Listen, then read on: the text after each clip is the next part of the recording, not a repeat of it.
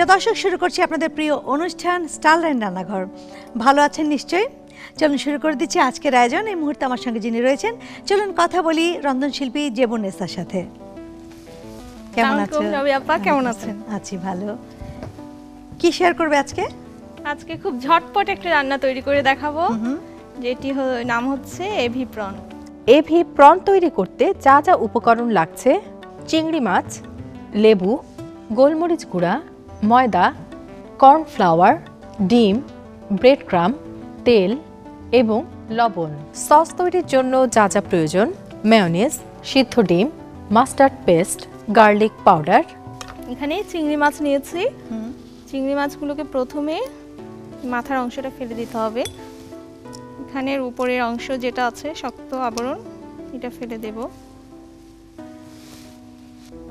পায়ের অংশটাও ফেলে দিতে হবে। এখানে লেজের একটু অংশ রেখে দেব। এখানে একটা রগ আছে।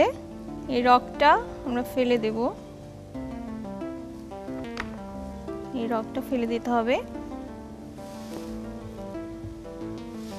এরপর চিংড়ি মাছের লেজের মাঝখানে যে একটা কাটার মতো আছে, সেটা ফেলে দেব। এখন চিংড়ি মাছের পেছন ভেতরে যে পাশটা আছে সেটা একটু বাঁকা করে কেটে নিতে হবে।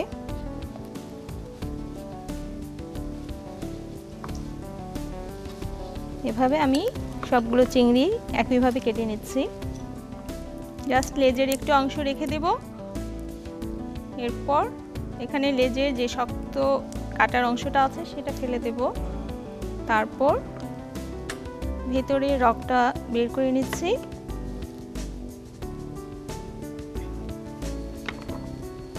দর্শক, যে কোনো চিংড়ির এই রগটা আপনারা ফেলে দেবেন। যে কোনো রান্না করার সময় অবশ্যই এই রগটা ফেলে দেবেন।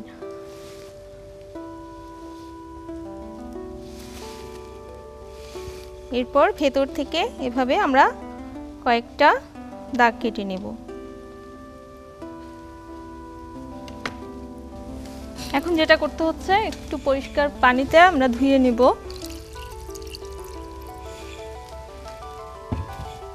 কোনো ময়লা যেন না থাকে ভালোভাবে পরিষ্কার করে।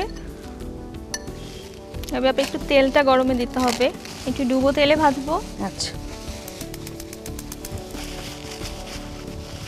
চিংড়িগুলো ধোয়ার পর ভালোভাবে টিস্যু দিয়ে মুছে নিতে হবে যেন পানি না থাকে।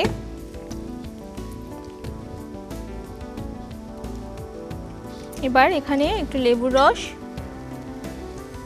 এক চা চামচ লেবুর রস। অল্প পরিমাণ লবণ, গোলমরিচের গুঁড়ো। ব্যাস, আর কিছুই দিতে হবে না। একটু মিক্সচার করে নেব। খুবই চটজলদি হয়ে যায় খাবারটা।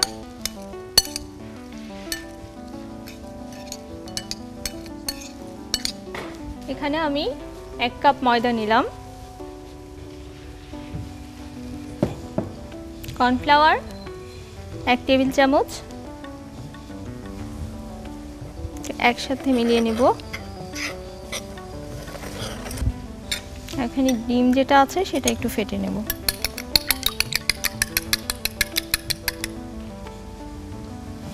আর এখানে আছে ব্রেড ক্রাম। এখন প্রত্যেকটা চিংড়িকে এভাবে ময়দায় গড়িয়ে এরপর ডিম আবার ময়দা ময়দার কর্নফ্লাওয়ার যে মিশ্রণটা আছে সেটার মধ্যে দিব। আবার ডিম এরপর ব্রেড ক্রাম আচ্ছা দুবার দিতে হবে। হ্যাঁ দুবার। আমরা দুবার কোটেড করে নিচ্ছি। প্রিয় দর্শক আপনারা দেখে নিয়েছেন কর্নফ্লাওয়ার এবং ময়দার যে মিশ্রণটা আছে সেটাতে আগে চিংড়িটা দিয়ে প্রলেপ দিতে হবে, তারপর ডিমে দিতে হবে। আবার সেই মিশ্রণে দিয়ে ডিমে দিয়ে লাস্টে ট্রাম লাগাতে হবে। এভাবে করে আমরা প্রত্যেকটা করে নেব, আমাদের সঙ্গেই থাকুন। প্রিয় দর্শক, আমরা গড়ে নিয়েছি, এখন আমাদের ভাজার পালা। আমি তোমাকে এই চুলে দিয়ে দিয়ে তোমার সুবিধা হবে। আমি দিয়ে দিচ্ছি।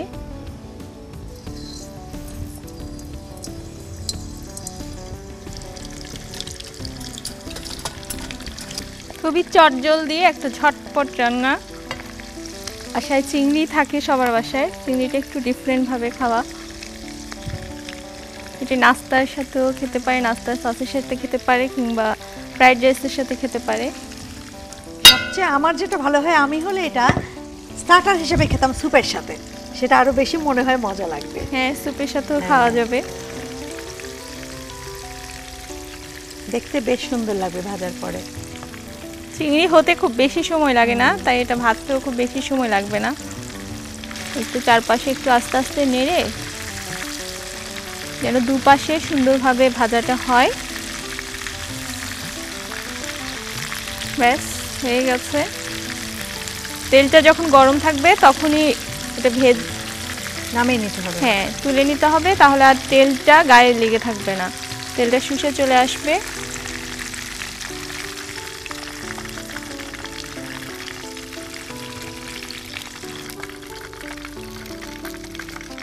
আমি এবার একটা সস তৈরি করছি। সসটার জন্য আমার লাগছে মেয়োনেজ হাফ কাপ হলেই চলবে হাফ কাপ মেয়োনেজ একটা সেদ্ধ ডিম। ডিমটাকে আমরা একটু মিহি কুচি করে কেটে নেব, অথবা গ্রেটার দিয়ে আপনারা কুচি করে নিতে পারেন। যাদের বাসায় গ্রেটার নেই, তারা ছুরি দিয়ে কুচি করে নেবেন, আর গ্রেটার থাকলে ভালো, গ্রেটার দিয়েও কুচি করে নিতে পারেন। এখানে হাফ কাপ মেয়োনেজ দিয়ে দিচ্ছি।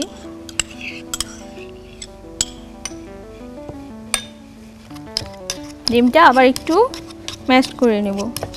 এর সাথে সামান্য একটু গোলমরিচের গুঁড়ো, রসুন গুঁড়ো, চাইলে একটু পেঁয়াজের গুঁড়ো দেওয়া যেতে পারে। সর্ষে বাটা, বাসায়ও তৈরি করতে পারেন, এটা কিনতে পাওয়া যায়। এটা আমি হাফ চা চামচ দিয়ে দিচ্ছি।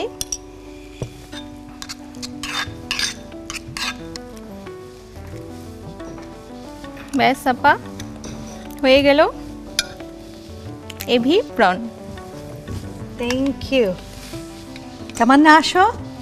আমি তো পুষ্টি বলতে পারব না, তোমার সাহায্য ছাড়া। একটু কমন হলেও এটা খুব টেস্টি কিন্তু একটা ডেলিশিয়াস একটু রেসিপি কারণ আপনি জানেন যে এই চিংড়ি হচ্ছে একটা মাছ আমার মনে হয় অ্যালার্জি ছাড়া সবাই খায় সবাই পছন্দ করে। এটা আপনি যে প্রসেসটাতে করেছেন আসলে এটা আবার অনেকেই জানে না কারণ আমরা দেখা যায় যে চিংড়িটা যখন এই পনটা ফ্রাই করি তখন ছেড়ে যায়। মানে উপরে যে কোটটা অনেক সময় খুলে যায়। সো আমাদের রান্না শেখানোর মেইন উদ্দেশ্য হচ্ছে যে কীভাবে টেকনিকটা আসলে করা যেতে পারে। তো সেই দিক থেকে এটি আরেকটি ভা- যদিও ডিপ ফ্রাই আমি তো ধরেন আমাদের পুষ্টিবিদদের একটু বলতেই হয় যে ডিপ ফ্রাই আইটেমগুলো অকেশনালি খেতে। ফুললি হোমমেড একটা রেসিপি হয় কি যে এই ধরনের ভাজা পোড়া আমরা মানা করার আরও একটা কারণ হচ্ছে বাইরের যে সমস্ত ইনগ্রেডিয়েন্টসগুলো থাকে, যেমন এখানে একটা কালার ইউজ হয় বাট উনি তো একদম সব নিজস্ব ইনগ্রেডিয়েন্টস দিয়ে করেছে। আরেকটা ব্যাপার হচ্ছে যে এই যে ভাজার ফলে কিছুটা ক্যালোরি হলেও কিন্তু চিংড়ির কিন্তু অনেক গুণ, আমি অনেক এপিসোডে বলেছি যে স্পেশালি ফর হেয়ার স্কিনের জন্য চিংড়ি খুব ভালো। চিংড়ির যে একটা জুসি টেস্ট এটাই কিন্তু অনেকটা টেস্টিং সল্টের মতোই টেস্ট যে এটা ভাজার পরে যতটা সম্ভব আমরা কিচেন টিস্যু দিয়ে তেলটাকে একটু সোক করে নিব যাতে এক্সট্রা তেলগুলো আমাদের না হয়। এটাকে নিউট্রিলাইজ করার জন্য আই অলওয়েজ মানে প্রেফার যে একটা ভেজিটেবল স্যুপ যেটা ক্লিয়ার হবে, অথবা ধরেন সালাদ যেটা মানে খুব গ্রিন টাইপের সালাদ দিয়ে ভাজা পোড়া আইটেম এনজয় করার বেস্ট ওয়ে হচ্ছে আপনি যদি সবজি দিয়ে সবজি রেখে সাইড ডিশ হিসাবে ওইটা খান। তাহলে হয় কি অনেক অনেক মানে এটার যে ক্ষতিটা হতে পারতো। অনেকটাই ব্যালেন্স হয়ে যায় এবং এই ধরনের খাবারের টোয়েন্টি মিনিট পর একটু লেমন ওয়াটার খেলে জাস্ট লেবু একটু পানিতে দিয়ে খেলে মানে ধরেন এই এটা যে ফ্যাটটা সেটা অনেকটাই আমাদের শরীরে কাজে লেগে যাবে জমে থাকবে না। আর এটা খুবই ডেলিশিয়াস হয়েছে। আমার খুব ফেভারিট একটা রেসিপি আমি প্রায় করতে চাই কিন্তু সাহস হয় না। এখন করব কারণ আমারটাও ছেড়ে যেত। থ্যাংক ইউ আপা আপনাকে। ধন্যবাদ আপনাকে। Thank you Tamanna. তোমার জন্য রয়েছে স্টালিনের পক্ষ থেকে বরাবরের মতো গিফট প্যাক বরাবরের মতো। আমিও এটা না নিয়ে যাই না। আপনাকে অনেক ধন্যবাদ সুন্দর একটা গিফট দেওয়ার জন্য। ধন্যবাদ স্টাইলাইনকে ধন্যবাদ এটিএন বাংলার ক্যামেরা পেছনে যারা কাজ করছেন তাদেরকে। এবং দর্শক, আপনারা তৈরি করবেন এই খাবারটি অনেক মজার এবং খুব ঝটপট একটি রান্না। ভালো থাকবেন, আল্লাহ হাফিজ।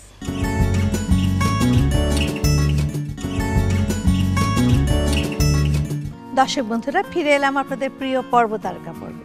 এই মুহূর্তে আমার সঙ্গে যিনি রয়েছেন, আমার আমন্ত্রিত অতিথি, চলুন পরিচয় করে দিচ্ছি, আমাদের সবার প্রিয় সংগীত শিল্পী রোকসানা মুমতাজ। কেমন আছো তুমি? খুব ভালো। কি খাওয়াবো আমাদেরকে বলো?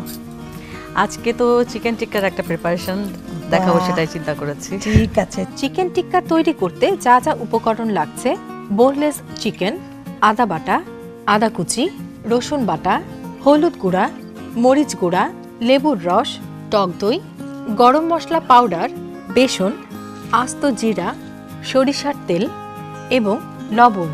প্রথমে বোনলেস চিকেনটাকে। এগুলো এক চা চামচ করে আচ্ছা। দিয়ে তারপর ম্যারিনেট করে রাখতে হবে। ঠিক আছে। তুমি একটু হেল্প করো হ্যাঁ আমাকে। নিশ্চয় নিশ্চয়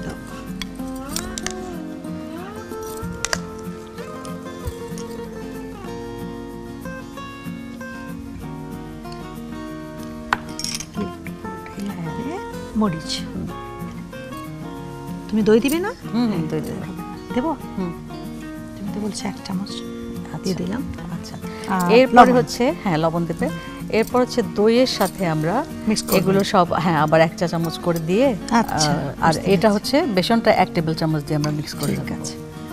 তোমার কাজটা কেন করে দিচ্ছি আমি তুমি জানো তো না? বলো তো কেন? কারণ তুমি এক্সপার্ট না। আমি গান শুনব তোমার আচ্ছা। কাছ থেকে সেই জন্য। সেই জন্য।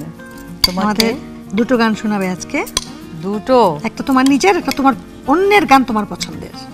চিকেন হতে একেবারে সময় লাগে না আর মেরিনেট হ্যাঁ। করলে তো কোনো কথাই নেই। হয়ে গেছে হয়। আচ্ছা, এরপরে হচ্ছে তোমার হ্যাঁ? দইয়ের মধ্যে তুমি সবগুলো এক চা চামচ করে দিয়ে দেবে। আচ্ছা আচ্ছা। এটাতে কম দিই কারণ হ্যাঁ ওটাতে যেহেতু দেওয়া হয়েছে। হ্যাঁ। গরম মশলাটা গরম মশলা। আদা কুচিটা দিয়ে দাও। হ্যাঁ। আর এটা হচ্ছে তোমার দাও। আসলে আমরা এইসব জিনিস বাজার থেকে কিনে খাই তাই না? অথচ ঘরে বানানো কত সব জিনিস দেখো নর্মাল মশলা। এমন কোনো মশলা নেই যে আমাদের বাসায় থাকে না। এখন এটা দেবো তাই তো? হ্যাঁ বার্নারটা দিয়ে দাও। সর্ষের তেল, তাই তো? হ্যাঁ, সর্ষের তেল। জিরার ফোড়ন। হ্যাঁ জিরার ফোড়ন। তারপরে দুই ওটা একটু ইয়ে হয়ে আসলে পরে দুই টেবিল চামচ দিয়ে দেবো আমি। বেসন। বেসন।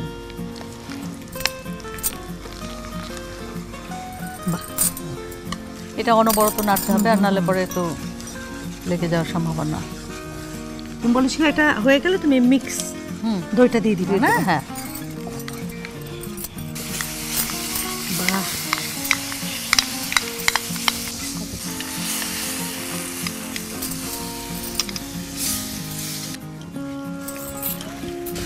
এখন আমরা চিকেনটা দিয়ে দিব।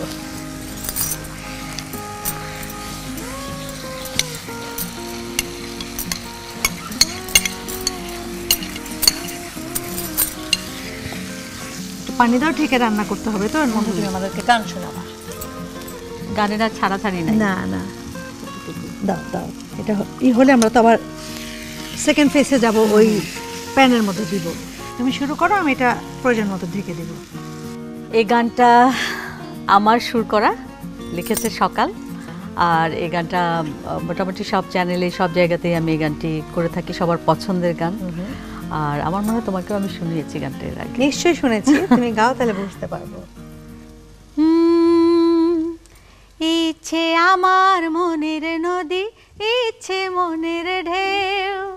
আকাশ জানে বাতাস জানে আর জানে না কেউ। তুমি ছাড়া রোদেলা দিন ঢাকে কালো মেঘে। অসময়ে বৃষ্টি নামে বিরোহী আবেগে বিরোহী আবেগে। তুমি এখন ভালো লাগা, মিষ্টি শিহরণ, ভালোবাসার বর্ণমালায় প্রথম উচ্চারণ। তুমি এখন সারা বেলা কাজ ভোলানো মন হৃদয় পুরে প্রথম গড়া প্রথম আবাসন। তোমায় ভেবে যায় না প্রহর, জটিল গুণে ভাগে। অসময়ে বৃষ্টি নামে বিরোহী আবেগে বিরোহী আবেগে। অসাধারণ। থ্যাংক ইউ এটা একটু সময় লাগবে পাঁচ মিনিট আমাদের সঙ্গেই থাকুন। এখন তো হয়ে গেছে এখন তো হ্যাঁ। এটার মধ্যে দিবে না? এখন এটার তুমি বলেছ দিয়ে মশলা থেকে কিছুটা ছেড়ে ছেড়ে তারপর নিবে তাই তো? যতটা গায়ে লেগে থাকে লাগবে। ঠিক আছে আমি তুলে দিচ্ছি তোমাকে। এখন এটা আমরা বন্ধ করে দিব তাই তো? এটাই দিব। এটাতে তেল গরম আছে আমি খালি বসিয়ে দেওয়া আর কি। বাহ! কায়দা।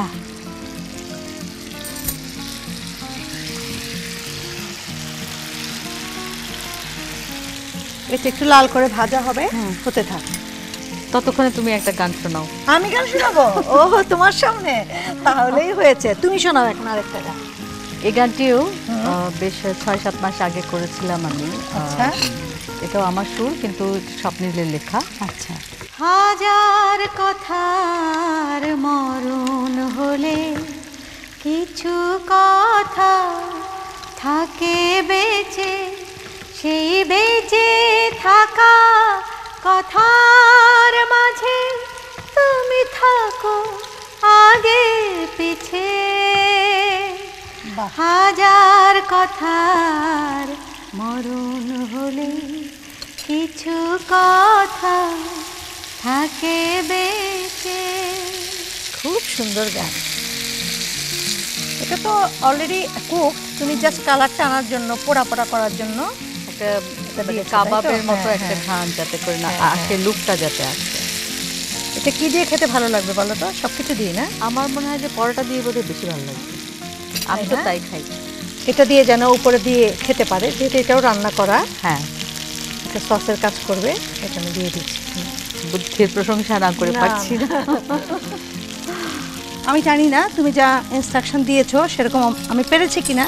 আমি চেষ্টা করেছি এখন আমি এখানে একটু সার্ভ করে দিচ্ছি। বাহ দেখি তো মজা লাগছে। এত অল্প মশলায় কি সুন্দরভাবে তৈরি করেছ। গানও শোনালা যে রাধে সে চুলো বাঁধে। সেটাই তার প্রমাণ। হ্যাঁ আসলে পেঁয়াজগুলোকে উপরে দিয়ে দিই। আমার এই পোড়া জিনিসগুলোই ভালো লাগছে দেখতে এবং খেতে। কি সুন্দর ফ্লেভার এখানে একটু ভাত আছে আমি চেষ্টা করেছি দেওয়ার জন্য। আর এই যে বলেছি কেউ যদি চায় তাহলে খেতে পারে দেখো তোমার মতো হয়েছে তো? খুবই সুন্দর হয়েছে আমি এত সুন্দর করে সাজাতে পারতাম না লিস্ট খুবই সুন্দর হয়েছে থ্যাংক ইউ থ্যাংক ইউ তুমি আমাদেরকে অনেক সময় দিয়েছ এত ব্যস্ততার মাঝে। তোমার জন্য রয়েছে স্টারলাইনের পক্ষ থেকে গিফট প্যাক ধন্যবাদ তোমাকে, আর সেই সাথে এটিএন বাংলা এবং স্টারলাইনকে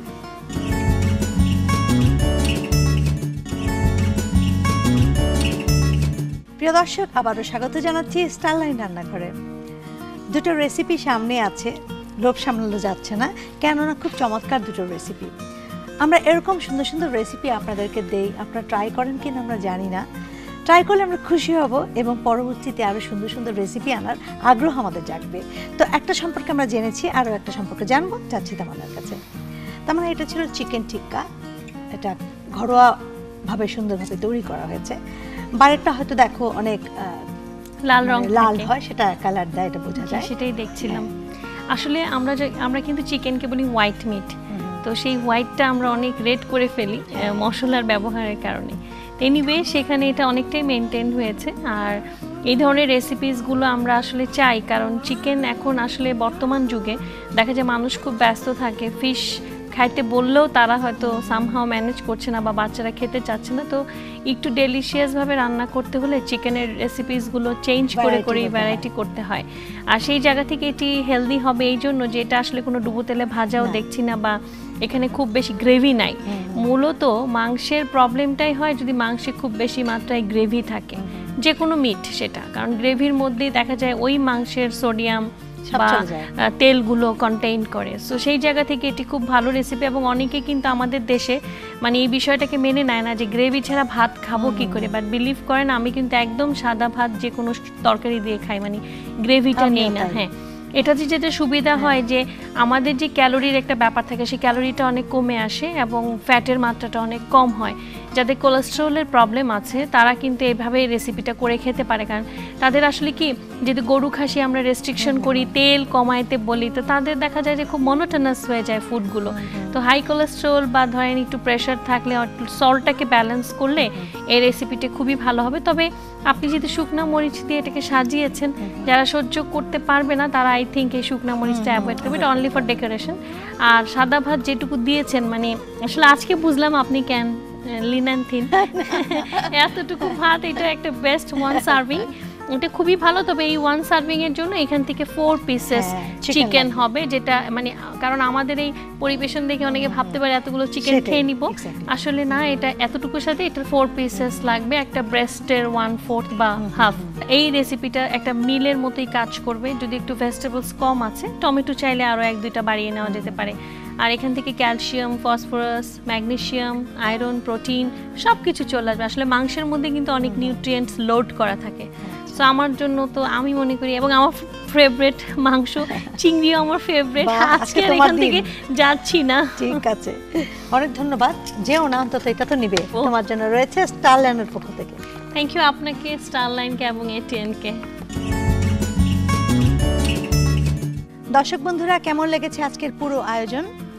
আমি নিশ্চিত আপনাদের ভালো লেগেছে। কেননা আমাদের রেসিপির মধ্যে ভ্যারিয়েশন আছে। আমরা প্রত্যেক সপ্তাহে সপ্তাহে আপনাদেরকে নতুন নতুন রেসিপি দেওয়ার চেষ্টা করি, কখনো ট্রেডিশনাল কখনো ফিউশন সেগুলো বাসায় ট্রাই করবেন, দেখা হবে আগামী পর্বে। একই সময়, একই দিনে আপনাদের প্রিয় অনুষ্ঠানে। সে পর্যন্ত ভালো থাকুন, সুস্থ থাকুন। আগামী অনুষ্ঠান দেখার আমন্ত্রণ জানিয়ে এখানে বিদায় নিচ্ছি। আল্লাহ হাফেজ।